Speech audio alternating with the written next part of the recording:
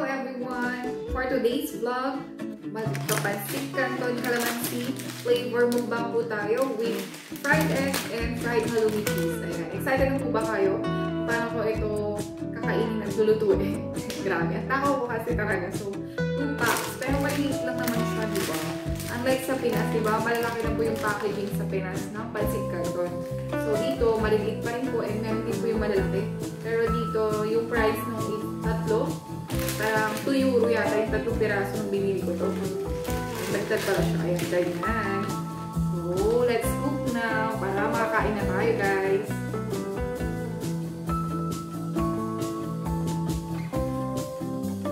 Sa right side ko, yung pansit canton. And then, sa left side ko, yung pitong itlog. Ayan, dalawa po yung nilagay ko. And later, yung halloumi cheese naman po yung susunod ko dyan. So, ayan, next. Halloumi. Halloumi cheese po ito. Baka hindi po nakakalam sa halloumi cheese. Cheese po ito ng Cyprus with milk. Ayan, with milk po. Ang ibig sabihin ng halloumi cheese. Ayan. Prito ako, lalagay ko doon.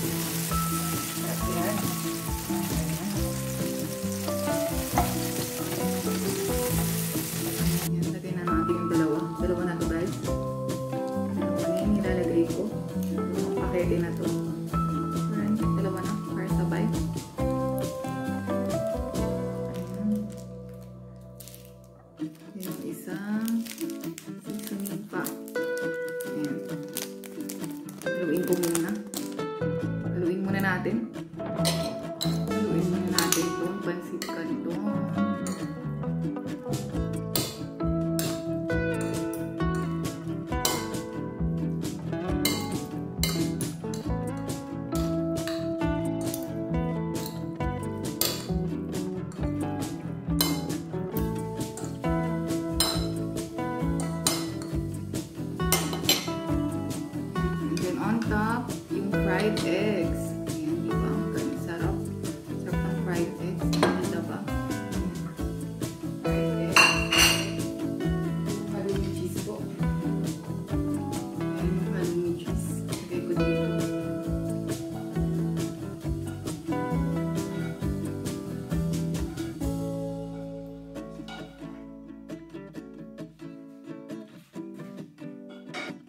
So, ayan na po ang ating pagkain. Ready na? Let's eat na, guys.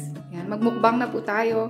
Ito na po yung halloumi, fried halloumi cheese, and then yung fried egg, and yung pancit canton, calamansi flavor.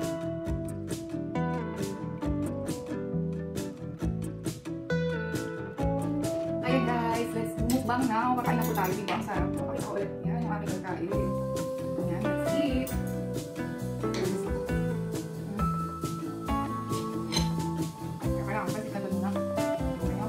ako kumain. Diba? Laki.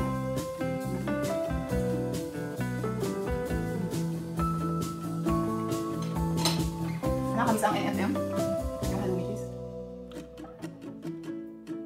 Hmm, sorry. Nahulog. Hmm. Sabay ko kasi dati. Kahit kami nagluto na ito kasi yung product naman ng Monde. Yan, advertise ang Monde Music. 哦还有个大一个哈嗯嗯嗯